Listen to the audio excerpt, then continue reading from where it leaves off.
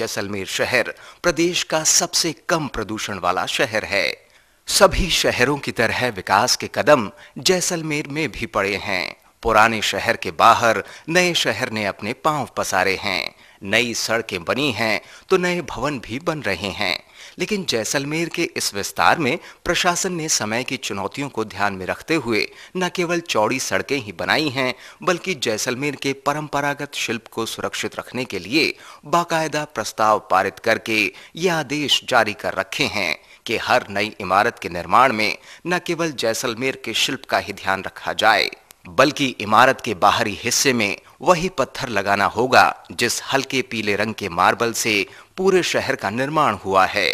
प्रशासन के इस कदम से जहाँ एक और नवविकसित शहर पुराने शहर का ही हिस्सा नज़र आता है, वहीं वाहनों की बढ़ती संख्या से होने वाले प्रदूषण को रोकने के लिए पूरे शहर में बाकायदा सड़क के साथ साथ वृक्षारोपण किया गया है।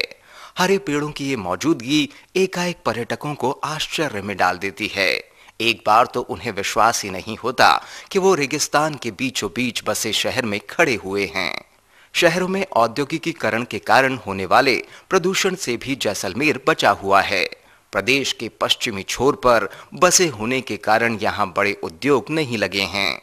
वहीं स्थानीय उद्योग धंधों का भी प्रदूषण नाम मात्र का है। पैदा करने के नाम पर जैसलमेर हवा की ताकत से बिजली पैदा कर रहा है, लेकिन इस प्रक्रिया में भी प्रदूषण का नामो निशान नहीं है। इसी तरह ना तो यहाँ किसी भी प्रकार का रासायनिक प्रदूषण है और शुष्क ज़मीन, पानी की कमी और तेज गर्मी के कारण बैक्टीरिया आदि भी पनप नहीं पाते हैं। इसलिए शहर इस तरह के प्रदूषण से भी पूरी तरह मुक्त है। योजनाबद्ध तरीके से शहर के विकास को नियंत्रित करके जैसलमेर प्रशासन ने न केवल शहर के स्थापत्य की छाप को बचाए रखा है, बल्कि सफलतापूर्वक वृक्षारोपण करके प्रदूषण पर भी नियंत्रण रखा है। अपने इस प्रयास से जैसलमेर दूसरे शहरों के लिए एक आदर्श भी बन सकता है।